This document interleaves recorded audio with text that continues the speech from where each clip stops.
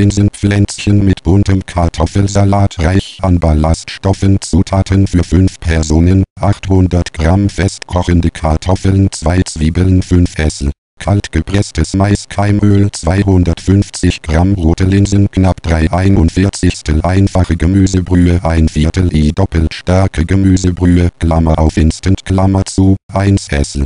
Kräutersenf 5 Essel. Weißweinessig 4 Essel. Kaltgepresstes Olivenöl 1 und Suppengrün 1 Ei 40 Gramm Weizenvollkornmehl 50 Gramm frisch geriebene Walnusskerne Vollmeersalz 1 Teelöffel getrocknetes Bohnenkraut frisch gemahlener schwarzer Pfeffer 1,5 Salatgurke Klammer auf etwa 250 Gramm Klammer zu, ein Viertel Kopf Endiviensalat Klammer auf etwa 150 Gramm Klammer zu, 1 kleine Kopf Radicchio Klammer auf etwa 100 Gramm Klammer zu, 50 Gramm Feldsalat 1 und Schnittlauch 1 Kästchen Gartenkresse braucht etwas Zeit pro Person etwa 2900 Kilojoule durch 690 Kilokalorien 22 Gramm Eiweiß 37 Gramm Fett 68 Gramm Kohlenhydrate 10 Gramm Ballaststoffe Zubereitungszeit 11 Zweitelstunden Für den Salat die Kartoffeln unter kaltem Wasser bürsten und in wenig Wasser mit der Schale zugedeckt weichkochen.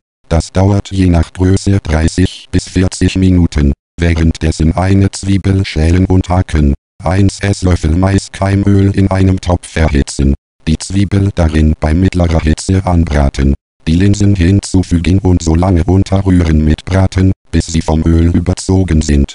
Die einfache Gemüsebrühe hinzugießen einmal aufkochen und die Linsen zugedeckt bei schwacher Hitze in etwa 20 Minuten sehr weich garen. Inzwischen die zweite Zwiebel schälen fein hacken und mit der doppelt starken heißen Gemüsebrühe übergießen. Den Senf mit dem Essig und dem Olivenöl verrühren und über die gehackte Zwiebel geben die gegarten Kartoffeln abgießen, noch heiß schälen und in etwa 1,5 cm dicke Scheiben schneiden. Die Zwiebelmarinade darüber gehen und die Kartoffeln zugedeckt durchziehen lassen, bis die restlichen Zutaten vorbereitet und die Linsenpflänzchen gebraten sind. Das Suppengrün putzen, waschen und fein zerkleinern. Mit dem Ei, dem Mehl und den Walnüssen unter die Linsen mischen. Die Masse soll die Konsistenz eines weichen, formbaren Teiges haben. Ist sie zu flüssig, noch etwas Mehl darunter mischen. Den Teig mit Salz, dem zerriebenen Bohnenkraut und Pfeffer abschmecken. Das restliche Maiskeimöl in eine Pfanne erhitzen. Von dem Linsenteig mit zwei E-scharfes Esslöffeln kleine Häufchen abstechen, in die Pfanne geben und wie Frikadellen flach drükaken. Die Pflänzchen beim